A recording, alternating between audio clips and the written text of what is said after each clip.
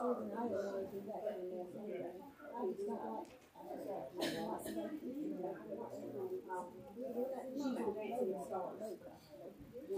brother?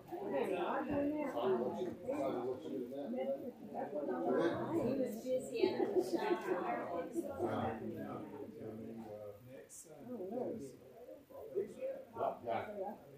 Next Saturday. Next Oh, is it next Saturday, okay. You got into it.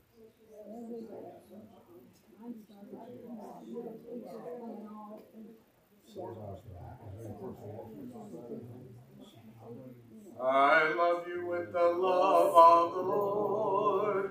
Yes, I love you with the love of the Lord. I can see in you the glory of my King, and I love you with the love of the Lord. I love you with the love of the Lord.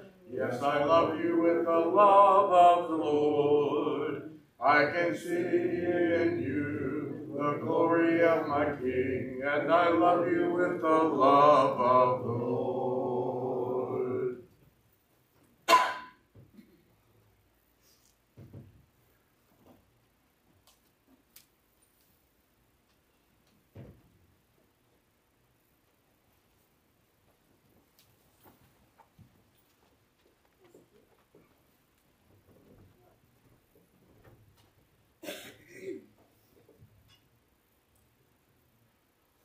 Good evening and welcome back to this tonight's worship service. We're a little thin tonight, but we're going to get through it. Glad you decided to come and worship the Lord in spirit and truth with us tonight. Just a couple new announcements. We're going to go over just a couple we had this morning. We want to remember those in our bulletin who are sick, and let's let's remember Paul Luttrell and uh, update on Uh, we're happy to have Allison back. That's what I meant. I was trying to thank here. Also, uh, uh, if you want to sign up for the communion, we're, we're certainly looking for some volunteers to come and do that uh, on Sunday mornings and Sunday evenings. Also, uh, our fellowship meal is going to be next Sunday morning. Uh, next Saturday will be Bible ladies Bible class, and we also have personal works group tonight. Anyone who can stay and help out with that would be greatly appreciated. Uh, that's all the announcements I have for this evening. And in this evening's worship service, uh, Brother Joel Foster is going to uh, open us in prayer. He's also going to lead us in our in our song service. Uh, Brother Dennis Strine will be serving the table if there's anyone here who didn't have the opportunity this morning. And he will also be having our lesson today. And uh, David Mormon will be closing our worship service in prayer. So if you would, Brother Joel.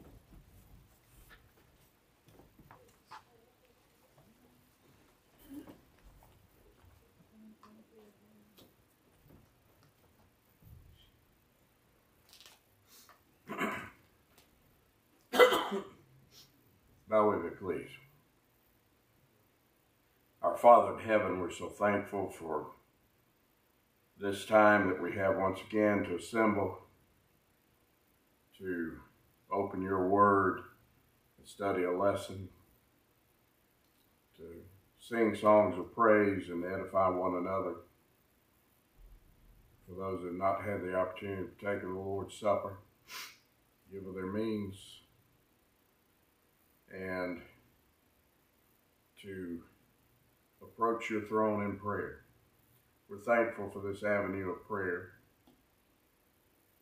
Father, we don't take enough advantage of it. We fail and fall short so often. But we pray that you would help us, that you would bless us, even when we fall short of our duty, as the Holy Spirit groans with us for those things that we don't even know we need to ask. Father, we're so thankful for this church and the church the world over.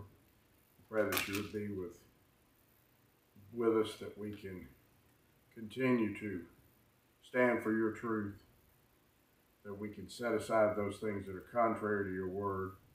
And as we learn the scripture more fully, we can follow and implement those things as well. Father, we have many that are sick. They're not able to be with us, that are under doctor's care. We pray that you'd be with them. It was good to be able to see uh, Deborah and Rick this morning. We pray that you'll continue to bless them, restore Deborah her health. Rick, as he has struggled with some things as well, that you would be with him.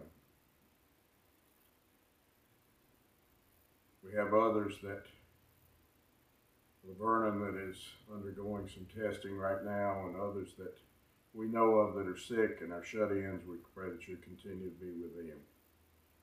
Be with Dennis this even, evening as he opens up your word. Be with each of us that we attentively listen to his lesson, that we can take those things and use them and as we continue on here on this earth. we pray, Father, that you'd be with us, that we can strive to continue to follow you, that we can have that home in heaven when the time arrives. Whether it be upon the return of Jesus or whether we are rise from the grave to meet him, we pray that we would have that home, that we would be found faithful in judgment. Father, for those that we continually pray for, for the ones that assist us, our military, our first responders. Pray that you be with our politicians, our judges, that they would stand for your word, that you would defeat them in those things that are contrary to your word. And let us submit to them so long as they do not demand that we renounce our allegiance to you. Father, we pray now that you be with us in this service in the upcoming week. In all things, Father, your will be done. We ask in the name of Jesus. Amen. Amen.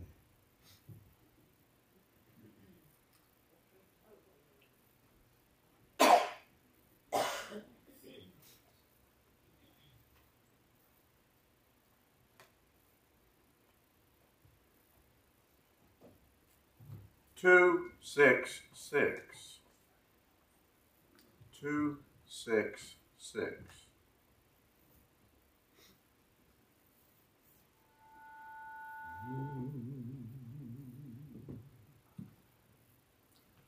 Loved with everlasting love, let my grace that love Spirit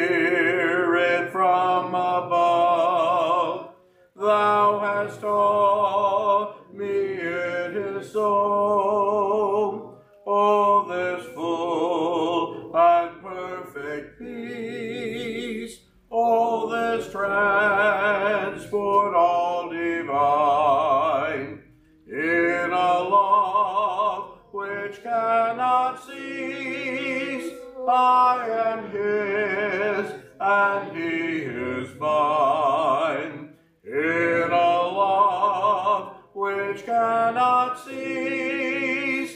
I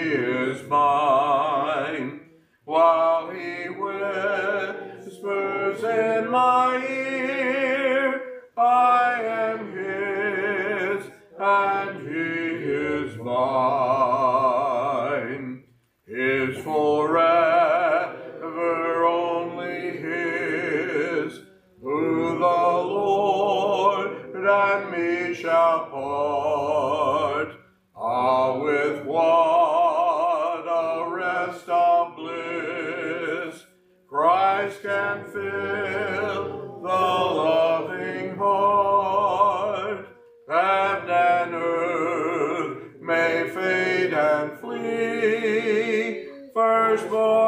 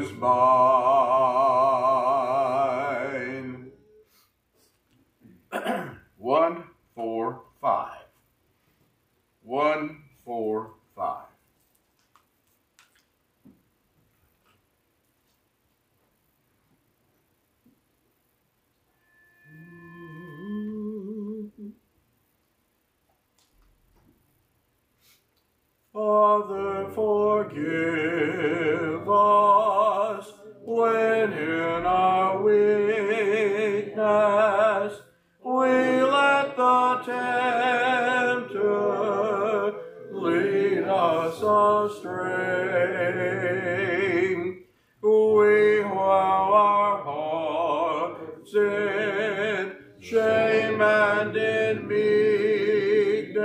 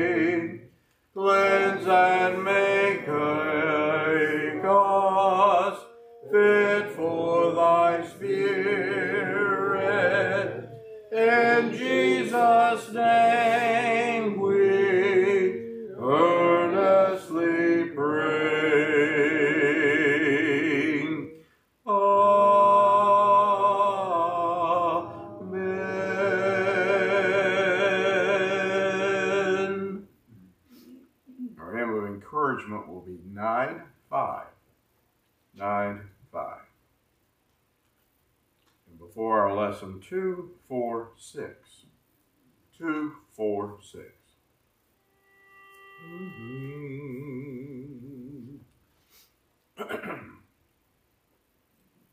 I am so glad that our Father in heaven tells of his love in the book he has given.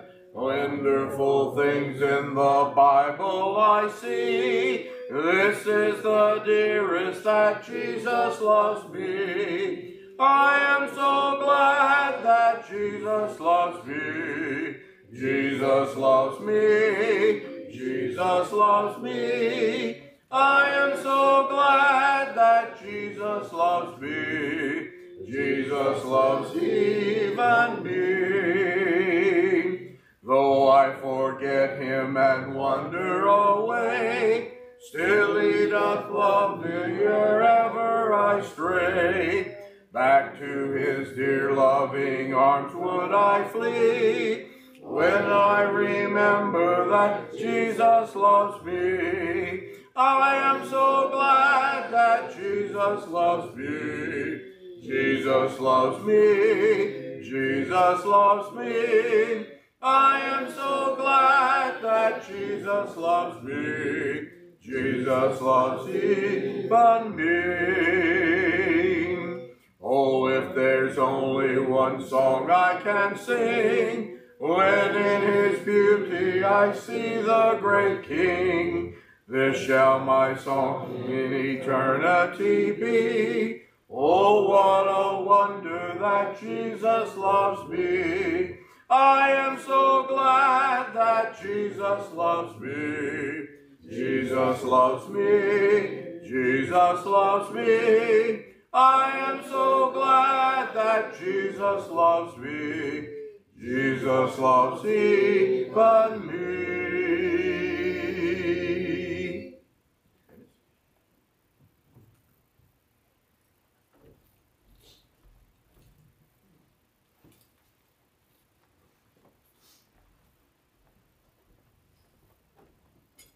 You'll open your Bibles to 1 Timothy chapter 2. 1 Timothy chapter 2.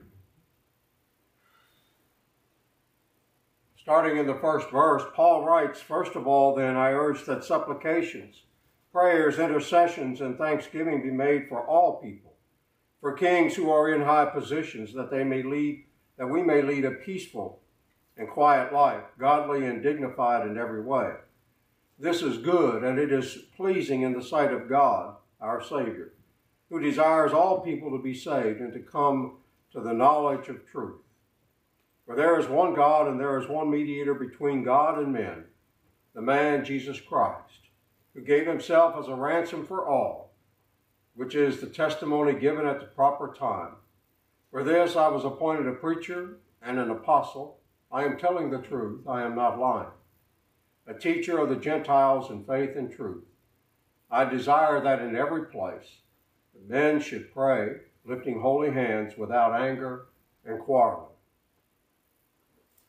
The Bible tells us that God is love, that we should love Him with all our heart, mind, body, and soul. This, of course, is the first and the greatest commandments. And the second is to love others as ourselves. For if God loved us this way, then we ought to love one another. John, by inspiration, says in 1 John 4 and verse 20 that if we claim to love God and we do not love one another, then we are liars. One of the ways that we demonstrate our love for one another is by praying for them. And perhaps this is what led Paul to encourage Timothy and because of these writings us by saying that I urge that supplications, prayers, intercessions, and thanksgiving be made for all people. There are only two people that we can pray for ourselves and others. And most of the time, we are selfish in our prayers we find ourselves asking, petitioning, requesting, praying for me, giving thanks for me and what is mine.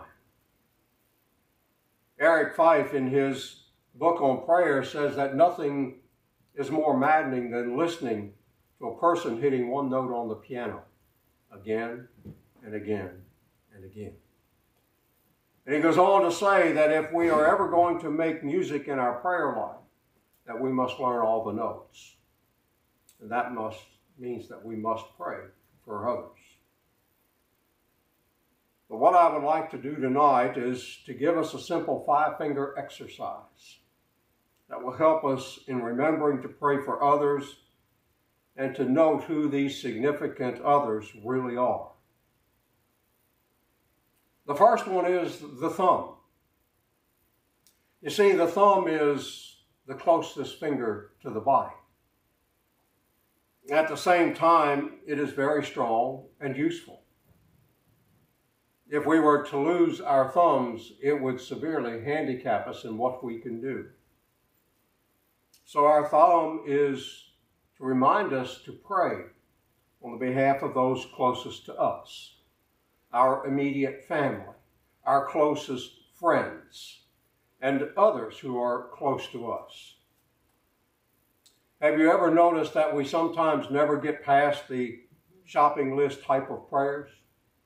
For instance, when we pray for our children, we ask that God may make them prosperous, that they be happy, healthy, have good jobs, maybe have a comfortable home. But this may come as a surprise to us, but there are no prayers like that in the Bible. When Abraham played, prayed for Ishmael in Genesis chapter 17 and verse 18, what did he pray for? He prayed that Ishmael might live correctly before God. And when Job prayed for his children in Job chapter 1, he did this for the forgiveness of any sins that they may have committed. And he also act, offered sacrifices on their behalf. When Jesus prayed for his disciples in John 17, he prayed that they might know God as God and him as the Savior that God might protect them from the evil one, that they might be as one as He and Christ are one, and ask that they be sanctified by truth. When we pray for those closest to us, pray that they become children of God and that they are useful for the kingdom. There's a story about a chaplain Clark Poling. He was drafted in World War II. And just before he was to deploy, he asked his father not to pray for his safe return, for he felt that that would be selfish. But he asked him to pray that he would be adequate in courage in all circumstances, and that he would be brave when bravery was called for. And then at 1:15 a.m., on February 5th, 1945. The troop ship, the USS Dorchester, was hit by several torpedoes and was sinking. Clark and the other three chaplains that were on board gave up their life jackets to wounded sailors. As it was then that they locked their arms together and went down with the ship. And when his father was told of his death of his son, his father said that his prayers had been answered, that his son was made adequate.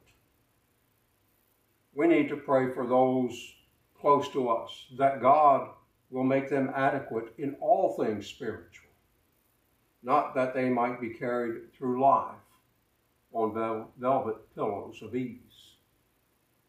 The forefinger, the second finger, is a finger that we use to point to others. This finger will help us to remind us to pray for those that we are attempting to point to Christ. Prayers for the lost. Prayers for those that we invite to services with us. The forefinger reminds us to pray for those who are pointing toward Christ. Doesn't matter who they are. Could be our Bible teachers, the preachers, the missionaries, those who are involved in personal evangelism on any level? Are we praying for those that we are trying to win? That is a must. We can never try to be evangelistic without prayer because the results of that are typically failure. And if we're studying with someone do they know that we are praying for them? Nothing is more thought provoking, more powerful than a personal prayer with a name that is attached to it. Wouldn't you have liked to have been with Jesus on the edge of Kidron, John 17? Would you have liked to have heard Jesus personally praying for you, calling your name. How do we feel when we hear our names being spoken of in someone else's prayer? Then we have the middle finger. It's the tallest. It's the one that stands out the most. And it reminds us to pray for our leaders. Paul in 1 Timothy 2 and verse 2 specifically mentions praying for kings, praying for those in high places. Friends, in a time when our political leaders have lost their integrity, we need to pray for them. And we especially need to pray for our leaders and their honesty in dealing with people, all people. And if we were to read verse 2 closely, for kings and all those in high places, that was that we may lead a peaceful and quiet life, godly and dignified in every way. Friends, it's so easy to criticize them for what they're doing. And instead, we should be praying for them. But we also need to pray for those in this congregation who have taken on the responsibility of taking care in all aspects of this congregation, from the building to our Bible class teachers, to those who serve on a regular basis. Just as with leaders in our nation and communities, it's easy to criticize. Often the criticism comes when decisions are made that we do not particularly agree with. But instead of the criticism, we need to pray to God that He will give them the wisdom that they need to make the decisions and then trust in God's answer. If we want a blessed family, church, community, and nation, we need to pray for the leadership. And then there's the fourth finger. This is the weakest finger of all. Any of you who types knows this. I prefer not to use this finger because it is lazy. It doesn't always seek out the right key. I get frustrated when I've tried to use the capitals in it and I keep hitting it with the wrong finger.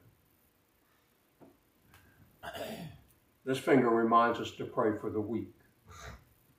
Pray for those who are sick of body, soul, mind, and for those whose spirits are dead. We often pray for those who are not at services because of physical health problems. We often ask God to heal them, to make them feel better, and that's what we should be doing. That's good. But we should also pray for those who are sick of soul, those who are not here because they choose not to be here. They choose not to worship, to praise, and to fellowship.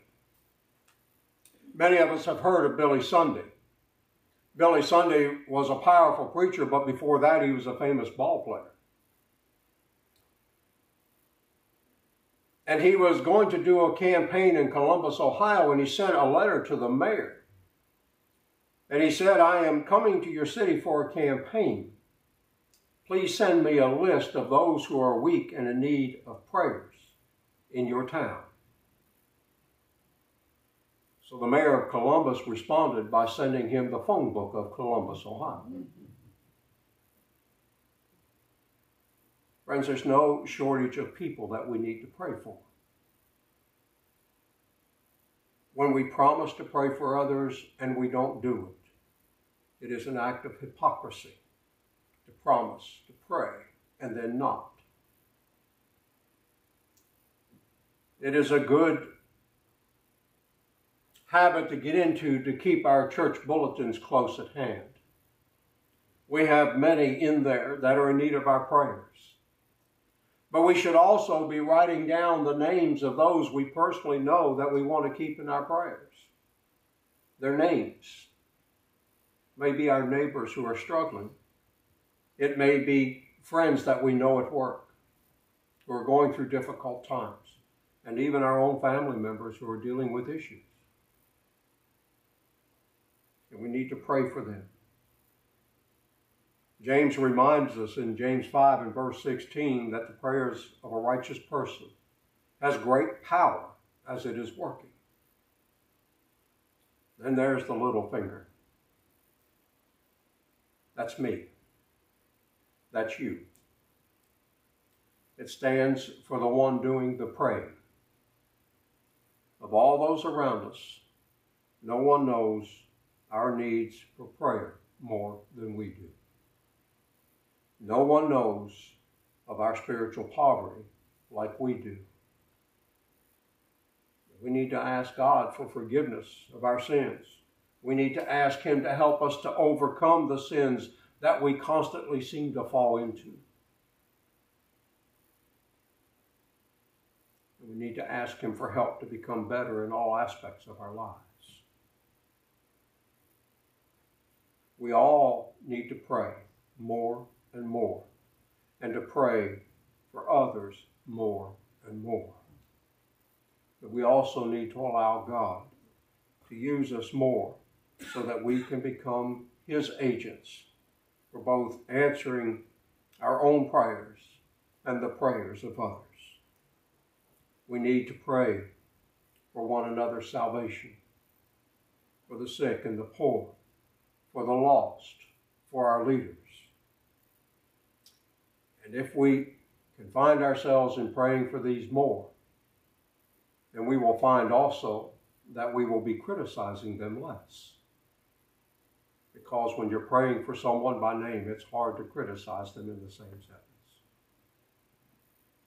As God's family, we need a healthy prayer life. And this is best accomplished by including others. Many do not realize it, but prayer is one of the privileges of being a child of God. If there is anyone here this evening who is in need of our prayers, we want to give you that opportunity. But just as important, and maybe more so, if there is anyone here who is desired, who has the desire to become a child of God, we truly want you to do this today. Through your repentance and confession, your New Testament baptism, you can become that child of God. And the angels in heaven will be singing. And you will be given a promise of eternal life and an heir. If there's anyone that has a need this evening, won't you come as together we stand and we sing? Days are filled with sorrow and care, hearts are lonely and drear. Birds are lifted at Calvary, Jesus is very near. Birds are lifted at Calvary,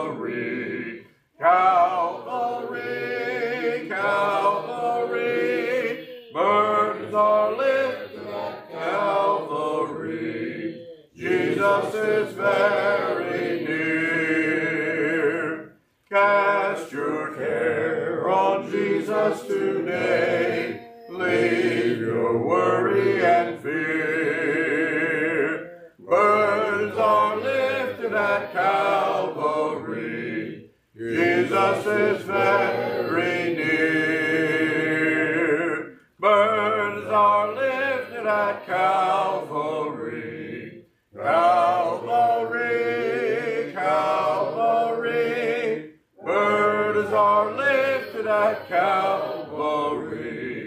Jesus is very near. Troubled soul, the Savior can see every heartache and tear. Birds are lifted at Calvary. Jesus is very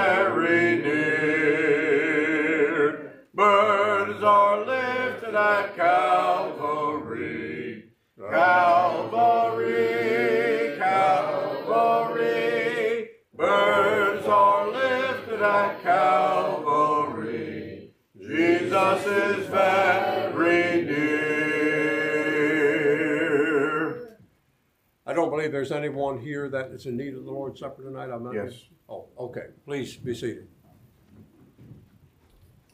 You can just stay there.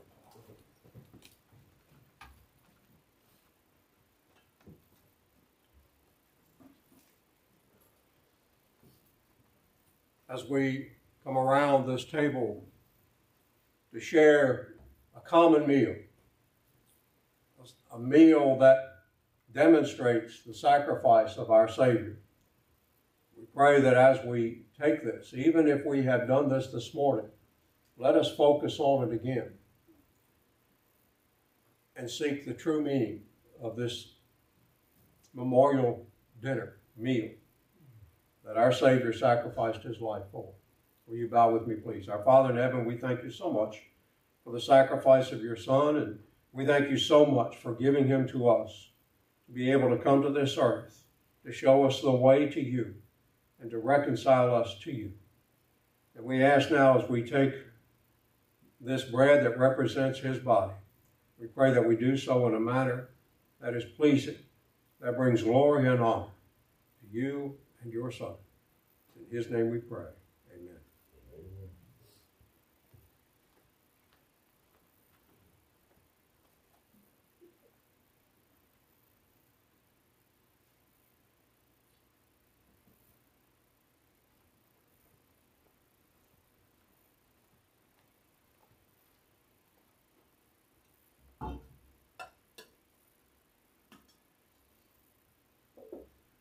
Let us continue in prayer. Our Father in heaven, we thank you so much for this fruit of the vine that represents the shed blood of your Son. And we pray, Lord, that as we take of this, that we keep in mind that this sacrifice, this shed blood, was to wash our sins away. And it was so unselfish in the act. May we never forget it. In Jesus' name we pray. Amen.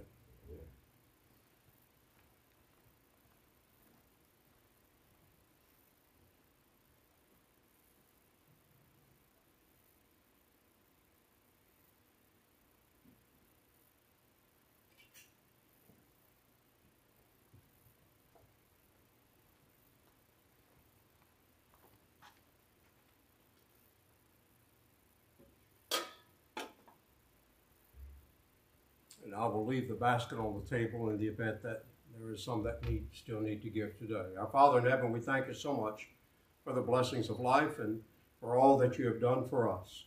And as caretakers of all the blessings you've given us, Lord, we just pray that you will accept this token that you have received and it may further thy kingdom here on this earth and be able to keep this wonderful place for that uh, message can be delivered and that fellowship can partake and continue.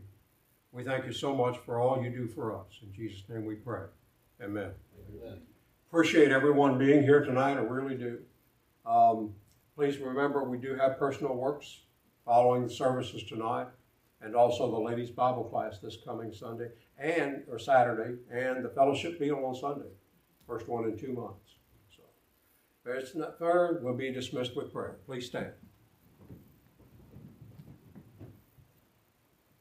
That's right. Dear Father, as I speak and speak her to her tonight, give to us through your word. Now, that's why we have this, this weekend. That's that sign, and that's rain, that's cold weather tonight. Give to us through your word. And her today, her life as just others. And then this, this, this, this, lesson tonight is with the church of Mauldin and his wife by, by, by her side, give to us through the word. Of military special responders, uh, police officers, uh, firemen, military, or, or maybe uh, uh, missionaries,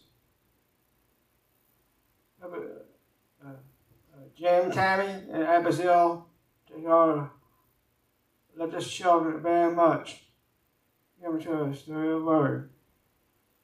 Uh, it's all spirits to your name here tonight.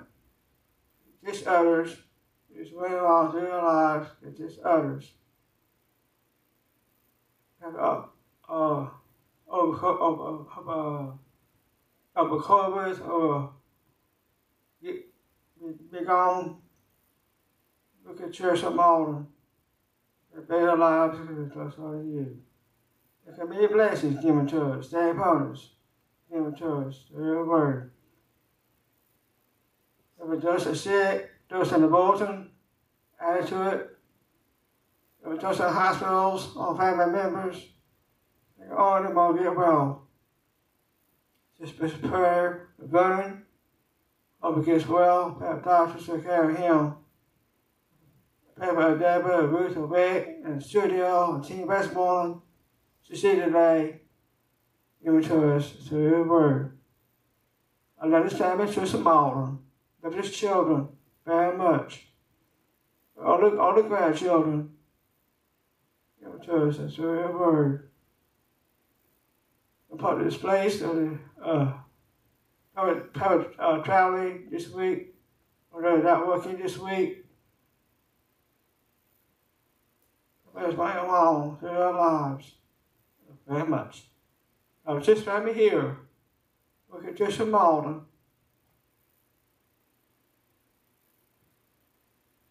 Part of this place, in the building, we hit in that.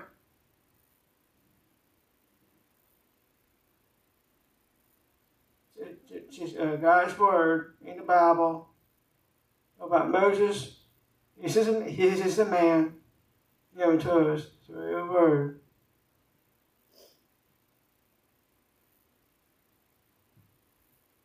My sister, Lloyd, and Tom, these prayers uh, very much.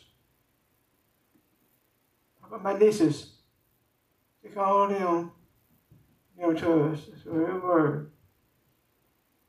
Pray for, for a short, many times, give it to us, we'll meet again. It's upon the hour. This is pray. Amen. Amen. Burdens are lifted.